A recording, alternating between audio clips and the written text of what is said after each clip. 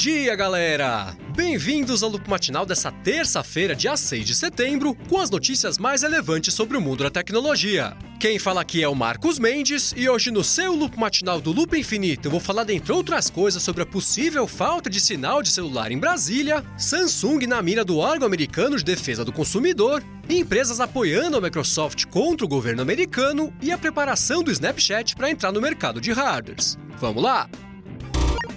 Eu começo o episódio de hoje falando sobre o Snapchat, que parece estar cada vez mais comprometido com a ideia de entrar no mercado de hardwares. Isso porque ontem o Financial Times publicou uma matéria dizendo que o Snapchat se juntou ao grupo que define os padrões de tecnologia Bluetooth e lembrou que só quem tem intenção de desenvolver dispositivos compatíveis com Bluetooth tem motivo para se juntar a esse grupo. Somando essa informação ao fato de que no último ano o Snapchat contratou diversas pessoas de empresas tipo a Nest, a Ring, a GoPro, a Oculus e a Sphero, e também ao fato de que tem aparecido cada vez mais relatórios de que eles aumentaram bastante os gastos com pesquisa e desenvolvimento, já não restam mais muitas dúvidas de que o Snapchat está desenvolvendo algum dispositivo próprio. O negócio agora vai ser esperar para ver que dispositivo é esse e quando é que ele vem. Quem acompanha o Loop Matinal deve se lembrar das vezes que eu comentei aqui sobre o drone da GoPro, chamado Karma. Ela já vem falando sobre esse drone faz um tempo, vem fazendo um mistério danado em relação ao design dele e chegou até a publicar na semana passada um vídeo marcando pro dia 19 de setembro um evento para mostrar ele para todo mundo. O problema é que por um descuido da empresa, uma foto do Karma acabou indo parar em algumas versões do site deles antes da hora.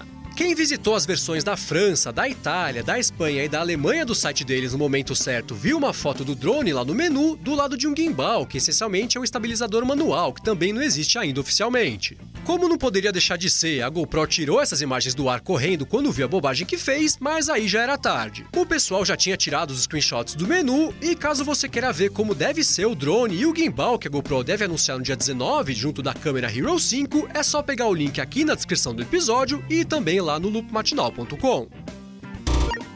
Agora o assunto é a Microsoft, que recebeu um apoio de peso numa briga que ela está travando contra o governo americano. O motivo dessa briga, você já deve estar imaginando, é a privacidade da galera, e o que acontece é o seguinte: a Microsoft vem tentando reverter um estatuto que deixa que o governo pesquise ou até extraia dados de e-mail sem que essas pessoas sejam alertadas. Até agora o governo só tem decidido contra a Microsoft, nenhuma surpresa aí, mas eis que agora diversas empresas resolveram formalizar um apoio à iniciativa da companhia, dentre elas a Delta Airlines, o Twitter, o Google, a Amazon e a Apple.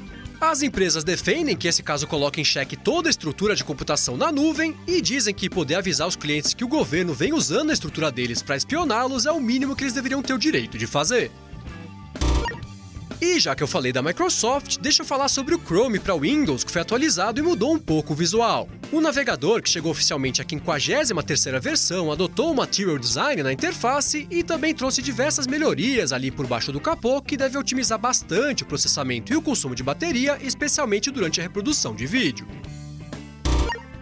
No episódio de ontem, eu comentei aqui que a Samsung abriu um recall do Galaxy Note 7 por conta dos casos de explosões da bateria que vem acontecendo. Aliás, a gente aqui do Loop perguntou de novo para a Samsung se ela vai trocar os aparelhos de quem comprou lá fora e trouxe para o Brasil e ela ainda não respondeu, o que geralmente não é uma boa notícia. De qualquer forma, enquanto ela tá quieta aqui no Brasil, lá nos Estados Unidos ela tá tentando segurar os clientes, oferecendo um crédito de 25 dólares para quem decidir continuar com a Samsung, ao invés de pedir um reembolso integral para comprar outro celular de outro fabricante fabricante. As operadoras lá de fora também estão adotando uma estratégia parecida, chegando até a oferecer telefones emprestados enquanto a Samsung não manda um novo e dando a possibilidade da galera usar o quanto custou o Note 7 como parte do pagamento de outro aparelho, qualquer que seja. Agora, em meio a isso tudo, a Comissão de Segurança dos Consumidores de Produtos dos Estados Unidos se manifestou sobre o assunto e falou que ficou bastante preocupada por não ter sido envolvida no processo de recall. Ela disse que geralmente os processos de recall passam por eles antes de serem anunciados lá nos Estados Unidos e que eles não entenderam por que a Samsung resolveu abrir esse recall sozinha.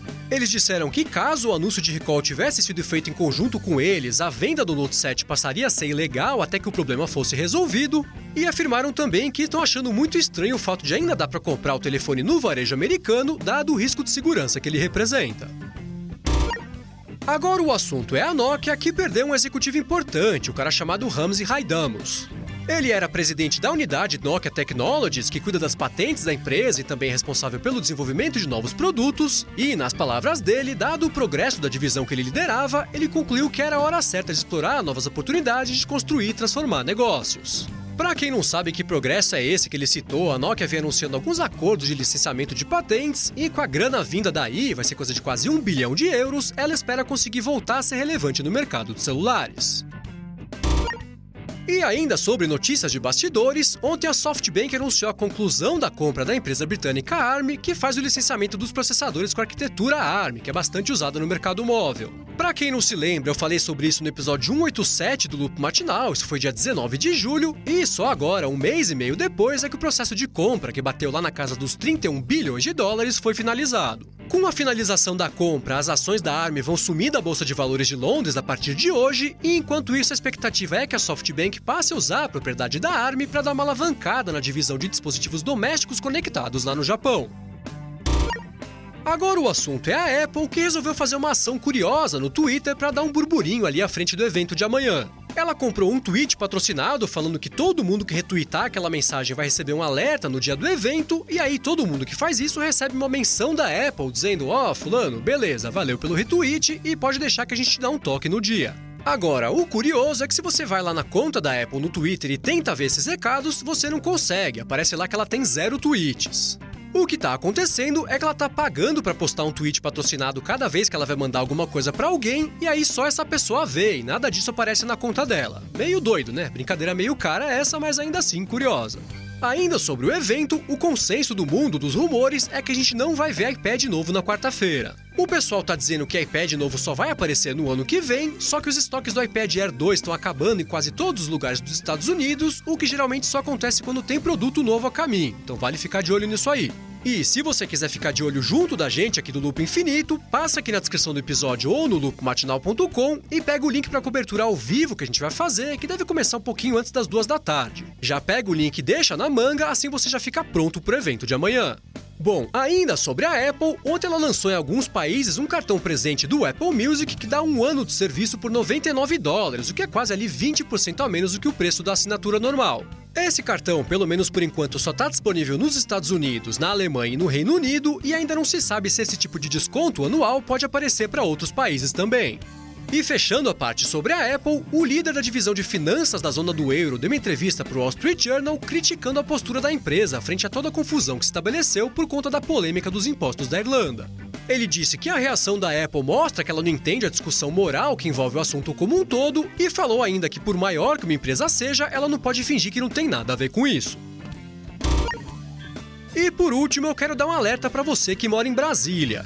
É bem possível que hoje você fique sem sinal de celular, graças a uma lei que estabeleceu em 2004 que não pode existir nenhuma torre de celular a menos de 50 metros de uma escola. Por conta disso, uma torre que inclusive também distribui o sinal da Oi e da Claro para outras seis antenas em Brasília deve ser retirada pelo governo hoje, o que deve deixar aí chutando baixo coisa de 100 mil, 150 mil pessoas sem celular. Agora, para piorar, eu falei que isso acontece porque não pode ter torre a menos de 50 metros de uma escola, né? Precaução de saúde isso. Então, essa antena fica numa região onde era para ter uma escola, mas essa escola não existe. De qualquer forma, a remoção dessa torre é só parte de uma decisão de remover 31 antenas instaladas perto de escolas em Brasília, então essa definitivamente não vai ser a última vez que quem mora nessa região vai ter transtorno por causa disso.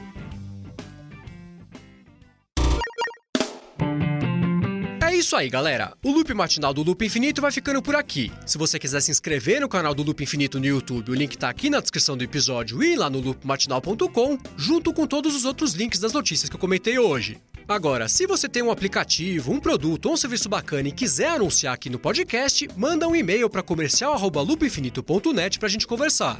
Já se você quiser falar comigo no Twitter, é só procurar por MVC Mendes que eu tô sempre por lá. Obrigado pela audiência e eu volto amanhã de manhã.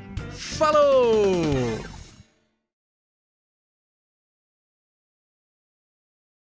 A Microsoft, Microsoft, que havia anunciando alguns acordos de licenciamento de patentes e com a grana, a grana, e com a grana vinda daí, vai ser coisa de quase um bilhão de euros, euros, cebolinha.